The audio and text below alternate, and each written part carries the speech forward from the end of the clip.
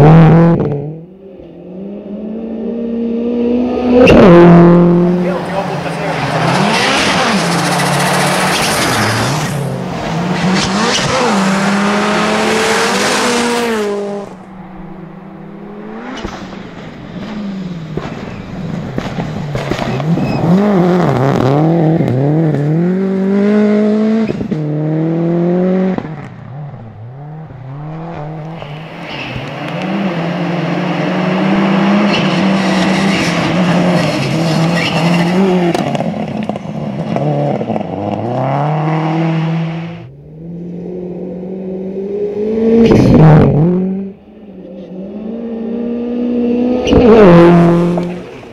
Ja viimeinen luokka 21, 4 VD.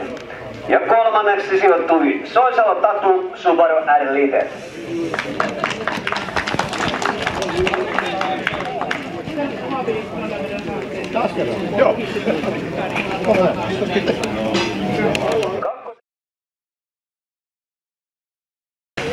Viimeisenä kategoriana 4 VD. Kolmanneksi Timo Kankaanpää.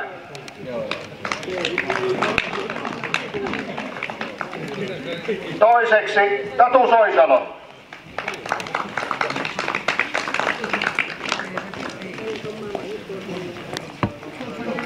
Oliko sä Forttimies? Ja voittajana kuka muu kuin Tuukka Hallia.